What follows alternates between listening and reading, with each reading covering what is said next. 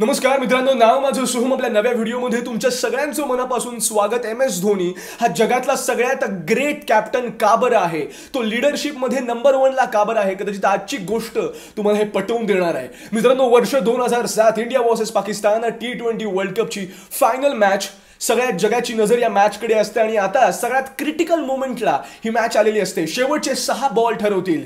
कोणती टीम हा world cup जिंकणार आहे? नो डाऊट तेव्हा पाकिस्तानचा स्ट्रॉंगर हँड होता. सेटल्ड बॅट्समन स्ट्रायकर एंडवरती होता. भारताकडे डिफेंड करायला रन्स फार कमी होते.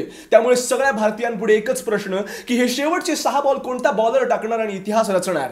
सगळ्यांची नजर जाते ग्राउंडवरती की आता हा निर्णय कोण घेणार तर एम एस धोनी घेणार कारण captain M S Dhoni decide करतो का हे शेवटचे सहा बॉल कोणता इंडियाचा मेन स्ट्रीम बॉलर नाही तर जोगिंदर शर्मा टाकेल आणि तो जोगिंदर शर्माच्या हातात बॉल देतो. जोगिंदर शर्माच्या जसा हातामध्ये बॉल एम एस धोनी देतो जोगिंदर शर्मा म्हणतो भाई भाई मुझसे नाही होगा.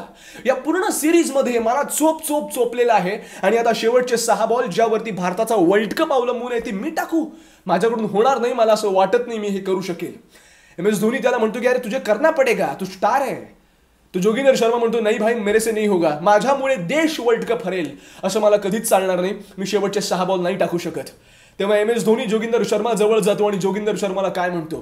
तुला हे शेवटचे सहा बॉल टाकायचे देणं हा माझा निर्णय आहे. तू बिंधास्तून सहा बॉल टाक तू काही निर्णय होते जबाबदारी मी घेईल. तुझ्यावरती कोणी बोटही करणार नाही. मी सांगेल की हा माझा निर्णय होता. मी त्याला सांगितलं की तू शेवटचे सहा बॉल टाक. जोगिंदर शर्माची इच्छा नसते मात्र माहीर त्याला म्हणतो धोनी त्याला म्हणतो की तू करेगा मुझे पुरा यकीन है तू करेगा. कारण probably you are the best guy in this team who can handle the pressure Joginder Sharma जातो मित्रांनो बॉल टाकतो आणि आपल्याला माहिती आहे की त्या मॅचमध्ये आपण वर्ल्ड कप जिंकतो आणि त्या जोगिंदर शर्माच्या सहा बॉलने इंडिया जो आहे हा वर्ल्ड कप जिंकतो दोन हजार सातचा T twenty world cup match नंतर सगळे जण एम एस धोनीकडे जातात. एम एस धोनीला विचारतात की यार तेरी ग्रेट कॅप्टन्सी की वजह से ये लोग वर्ल्ड कप जीत गए टीम इंडिया वर्ल्ड कप जीत गई. क्या कहना चाहोगे? तेव्हा एम एस धोनी काय म्हणतो माहिती आहे एम एस धोनी म्हणतो की मैंने कुछ नहीं किया है। जो किया है वो सारे टीम ने किया है।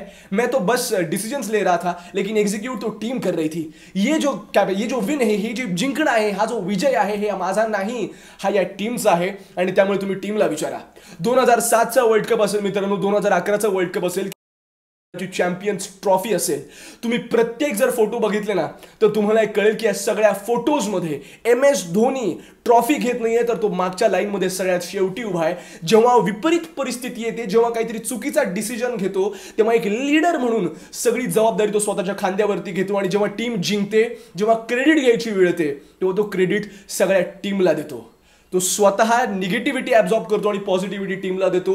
टीका ज्या आहेत या स्वतःवरती घेतो आणि कौतुकपूर्ण टीमला देतो. कदाचित ह्या एका कार्डामुळे M S Dhoni is probably the most greatest captain any team will ever have आजचा व्हिडिओ तुम्हाला कसा वाटला मित्रांनो? खाली मला कमेंट्समध्ये सांगायला विसरू नका. आपल्या चॅनलला सबस्क्राईब करा आणि हा व्हिडिओ तुमच्या मित्रांपर्यंत शेअर करा. भेटणार आहोत आपण आपल्या पुढच्या व्हिडिओमध्ये तोपर्यंत फेडता राहो बॉस